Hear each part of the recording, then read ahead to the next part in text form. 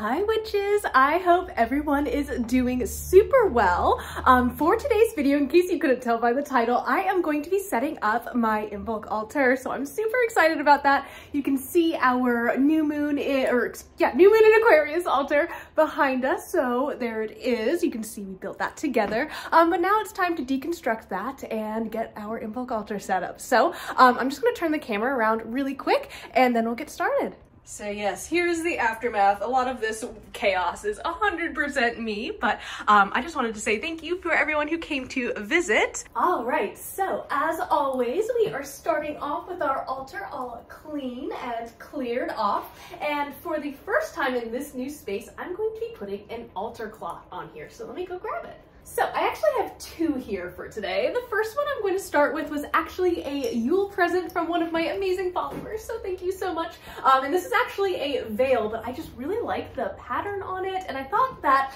the color white and all of these kind of delicate florals really, really spoke of Imbolc. So um, I'm going to be putting it right here on our altar. So friends, don't be afraid to repurpose all of your amazing veils or any scarves, any silky pieces of cloth that you have um, to decorate your altar, that is perfectly fine. Use what you got, and sometimes you uh, unexpectedly find something really beautiful, right? So the second altar cloth that I have is actually um, part of a charm casting kit from Goddess Provisions. I just really liked the color. Again, we have um, the blue and the white, which is very symbolic of Imbolc to me. Um, and I'm just gonna put that right in the middle. And this is going to be kind of the focal point of um, my altar. I'm gonna start building everything on and around it to, keep up that symmetry that we love so much here. Um, so yeah, let me grab some more objects. All right, now speaking of symmetry, it would definitely not be an altar of mine if I didn't have some bones on it. Um, so I have this set of antlers here, as well as some deer vertebrae that I have from my own personal collection. Now, I really specifically wanted to add bones to this altar because I feel like this holiday is all about kind of shaking, um, you know, the coldness and the stillness from our bones and really starting to kind of get back into the world around us. So I thought that this would be a good reminder, not only of like the stillness of our planet right now and the fact that things are still pretty dead, um, at least where I am, it's like 32 degrees right now. Oh my gosh. Um, if you're in a warmer climate, however, you might want to use other things for your Imbolc altar. So feel free to be inspired. All right, next things next, we're gonna start adding some of our crystal allies. Now, if you are a witch who doesn't want to deconstruct their altar all the time, have no fear. Um, a lot of the crystals that I'm going to be using in today's altar building session, um, I used during our new moon in Aquarius altar. So if you wanted to use amethyst, I also have some calcite, I'm putting some rose quartz on there, as well as just some of my more kind of pastel ah, colored crystals. Um, so again, feel free to be creative and maybe just add a couple other items to your altar to, you know, de designate, hey, I'm celebrating this holiday or celestial event. It does not have to be super duper fancy and um, you can add and take away however you see fit. Next, I have this super cute incense holder that a coworker of mine gave me. Thank you so much for you all. Um, and I really wanted to include it on this altar because we are celebrating kind of the return of warmth, not so much the return of the sun, that's more Yule, but again, returning of hope of life of joy to the world and that is kind of what the sun is all about so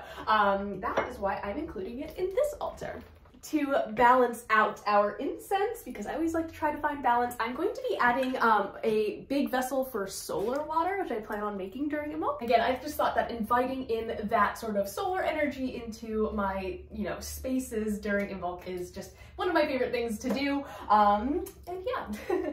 So for our next item, I'm going to be using some herbal allies such as chamomile, lavender, and then I don't know if you can see that, but that is Himalayan pink salt there. Um, and then I also have da, da, da, this beautiful yellow candle that I have used for Imbolc celebrations in the past. It burns like amazing. It has like all those little drippy bits on there. And I am one of those witches who definitely reuses candles for different holidays and stuff. So don't be afraid to do that. A yellow candle is a yellow candle is a yellow candle and you ascribe the meaning to it. So just remember that. And this is one that I used to celebrate um, a lot of the sun-based holidays. So like Yule, Imbolc, um, Ostara, anything leading up to basically the summer solstice. So, um, Old Faithful over here. um, now with the herbs, what I'm going to be doing, I don't know if you guys can see it, it's kind of sitting on this little plate. I'm going to make a ring of these herbs around this candle and um, just inviting their energy into our space. And that's another reason I wanted to have an altar cloth here so I could, you know, clean up a little bit easier because, oh my goodness, dried herbs get everywhere. Ah. Not sure if you can tell any difference in that, but don't worry, I'm going to get a closer view of this in just a second.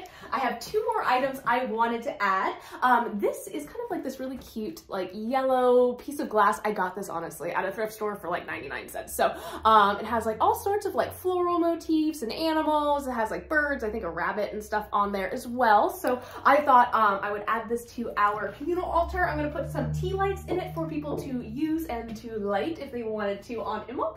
And then this little cauldron here, um, I have like this little mini cauldron. This will be for the tea light discards, so that way everything is kind of tidy on the altar. So, um, you know, always good to think ahead. Without further ado, let's turn the camera around.